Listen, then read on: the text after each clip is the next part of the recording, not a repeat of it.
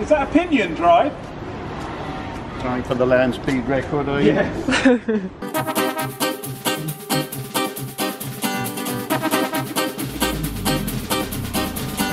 Today I'm going to try out the Rotovelo, which um, I haven't ridden before, and uh, my mate has one sitting in his shop at the moment, so I thought, well, I'm going to take it for a spin and see what it's like, because I'm intrigued. Um, it weighs around 33 kilo, kilograms, has a list, list price of 6,500 Australian dollars. Um, the body is rotational molded, so basically like a plastic wheelie bin, and uh, there is a carbon fibre option, which I think is about 10,900 Australian dollars, uh, and that saves a bit of weight. It weighs 20 kilograms, so basically it saves 13 kilograms of weight, which is quite substantial. But the one I'm going to try today is the rotational uh, molded version, so I'm going to give that a go and see what it's like, and I'll take you along for the ride. Hopefully it doesn't rain. It is raining, isn't it? Damn it. Okay, that's Don Poncho. So here's the beach. You may have seen it on a previous video. Tuck this lip on the edge underneath here, which takes a bit of time. And uh, if you're in a rush and it's pouring down, uh, it's going to take a while, and I think the bike's going to get wet inside. Plus, another thing is you can't ride it with this on, which is slightly annoying. I don't know why they didn't do like a little zip thing here or Velcro, but here we are. You know, for the price, I think it's about 3,800 UK pounds for this, brand new. Yeah, That's good then. of course I've checked, baby. I'm going to take it for a spin. Did you just stand on the seat, Stuart? Yeah.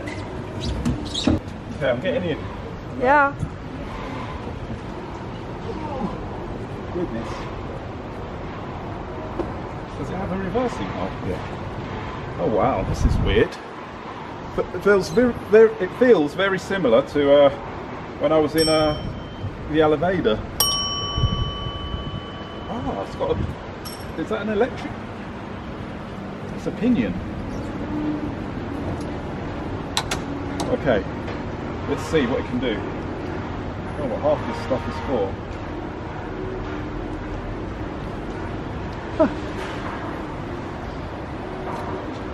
Is that a pinion drive? Past the cup, can you film in there? Yeah. And it has a pinion drive, which I've never used before in between there. Let's give it a go. Okay. Wow, this feels weird.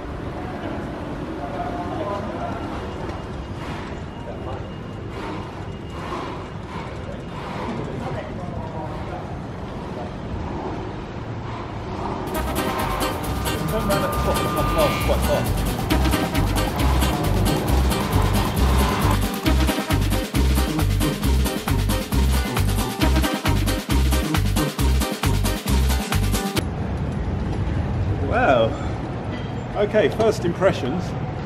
Very, very bouncy.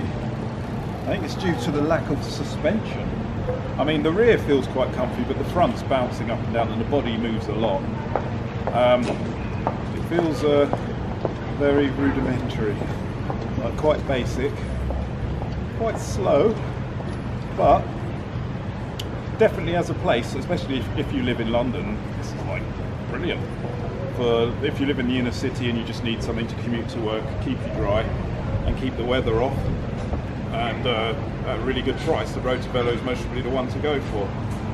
But um, I don't think I'd want to go on a super long tour in it because uh, it's just a bit too basic me. It's not refined enough. Um, but for the price, it's a good entry level velomobile to get into velomobiling and then maybe upgrade in the future. Yeah. So all Yeah. in all, I'd give it five out of ten. Three thousand eight hundred pounds. 3,800 pounds. Yeah. Oh, it's wonderful. I think it's, uh, it's, awesome. it's amazing. Yeah, great. It Yeah. keeps you keeps the weather on, camping gear and all that sort of Beautiful. stuff. Beautiful. It's, Amazing. it's really good. Interesting. Um, not for me. yeah, I'd give it five out of ten. Um, I think I've just been spoiled by the WAW and the Quest, and I mean, if I had never tried a velomobile before, a Quest or anything like that, and um, maybe compared with the Elevator, I would say this is lighter, but the Elevator rides better than the Rotovelo. Okay. Yes, and that's mostly due to the suspension. But then again, I would like to ride this for maybe a week and then make my mind up. I mean, I wouldn't, I wouldn't purchase it, but maybe the, the review would be fairer. Turn around. All right. I'll around by that white van, Yeah. and I'll come back.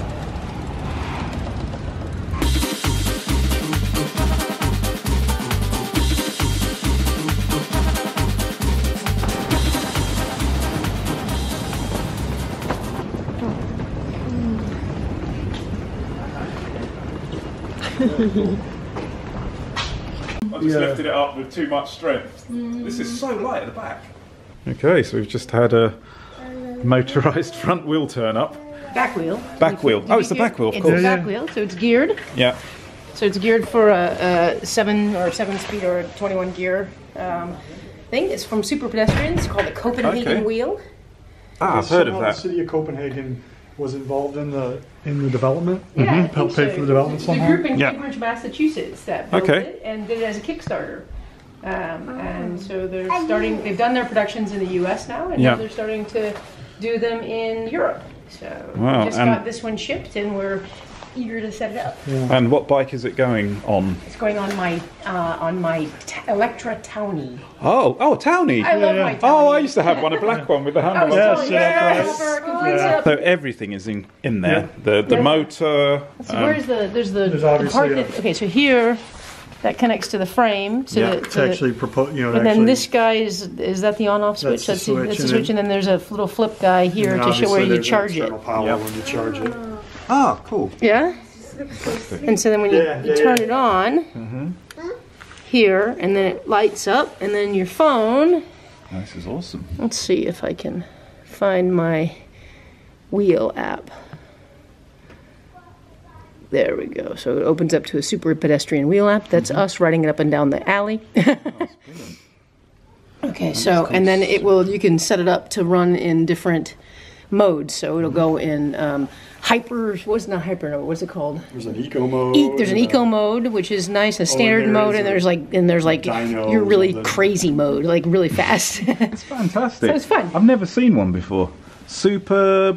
Pedestrian, Pedestrian. company, yeah.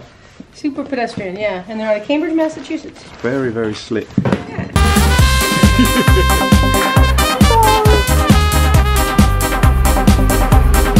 Yeah.